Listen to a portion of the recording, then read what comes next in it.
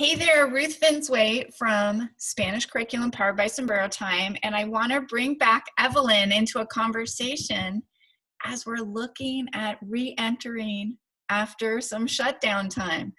We've been inside a lot, doing a lot of togetherness with our families, and we just want to continue to bring you resources and knowledge that can help you care and connect in the home. So we've been doing this with our staff for a whole year. Evelyn DeRoos has been joining our staff for development time, and it's been so helpful, so good that we just want to continue to bring it to you. So without further ado, I want to invite Evelyn to come talk to us about all of this wiring, all this circus, circuitry that we have in our nervous system. And she's going to help bring her psychoanalytic expertise to us to help us understand what to do with all of this as we try to mobilize these seven strategies of care and rest, yes, and understand how our body works with our nervous system. So, thank you so much for being here, Evelyn. I super appreciate it. Well, thank you, Ruth. It's a joy to be with you and with whoever else is joining us uh, virtually. I've been giving a lot of virtual hugs to people.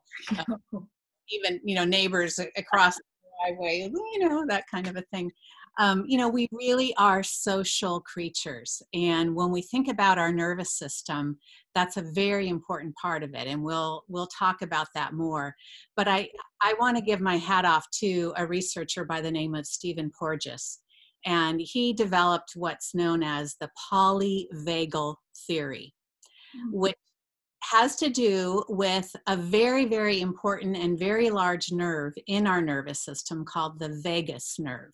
Now, one of your teachers, when I was teaching this, said, "Oh, well, what happens in Vegas? You know, he stays in in Vegas."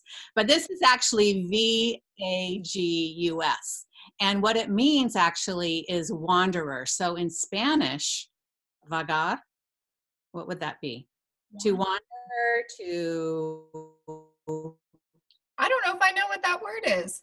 I, will. I'm going to have to talk to my staff.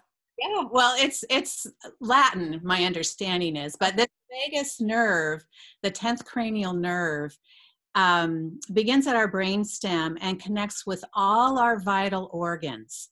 And there is more information coming from these vital organs up to our brain than from our brain down to these organs. Now it is bidirectional that you know there's communication both directions, but mm-hmm. this information coming up from our gut, from our lungs, from our heart, um, about our blood pressure, about our temperature, about all these things that happen outside of our conscious awareness, most of because our body's trying to be in balance to achieve homeostasis is what we call so balance. And i know many of us have been feeling out of balance in whatever way because everything is so uncertain so unknown.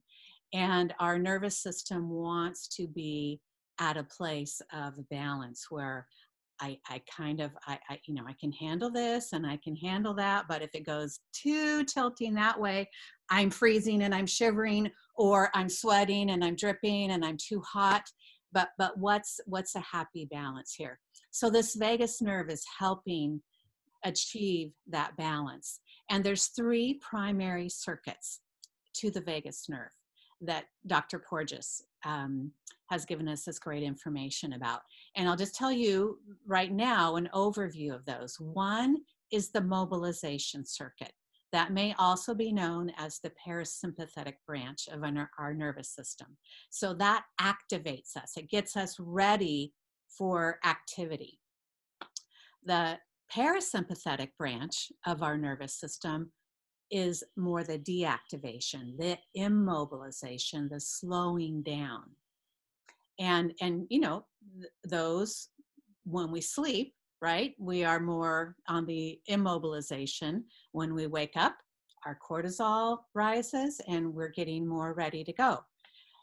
And, the, and so we know a lot about those circuits, but the most important circuit that Porges has given great information about is what he calls the social engagement system. And this is a very, very powerful system for us as so- social creatures. And yes, there's a lot of study about mammals and the ways that social animals help regulate one another. And for us as humans, that's a really big part of us. And that's why the sheltering at home has been so, so challenging because our social engagement has been very, very limited. And the ways that we typically connect with one another, we don't have access to that. Even what we're doing right now by Zoom is not natural. It's two dimensional rather than three dimensional it's delayed so we're not getting as much real time feedback that our unconscious brain is processing at very very high speeds.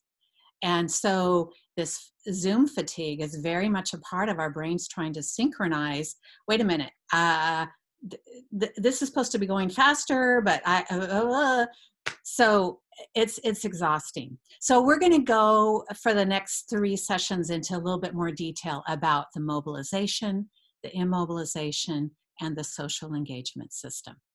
Okay. So that was a preview friends. Stay tuned